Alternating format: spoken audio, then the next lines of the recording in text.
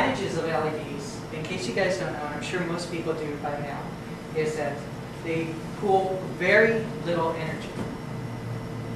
That means that if you're an existing church and you need to retrofit your light, you can go in with existing power that you have and more than likely not need to call an electrician in mm. and modify your power.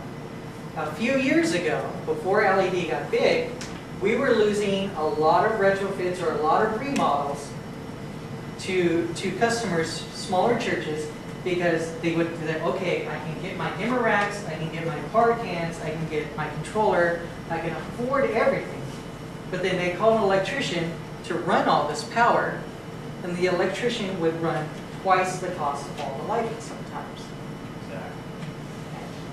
Now with LEDs, LED as a fixture, as one individual piece, an LED can is probably two or three times the price of a regular can.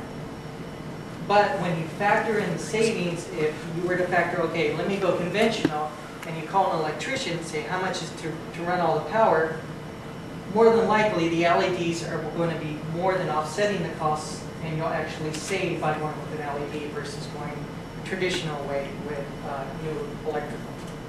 So that's one way LEDs are really saving. The other thing is that LEDs have a, a extremely long lamp life. If you average out a 100,000 hour LED will last you about 20 years, 8 hours a day. So if you um, average out the life savings from a lamp, that alone will pay for itself when you don't have to charge, when you don't have to pay for lamp replacement.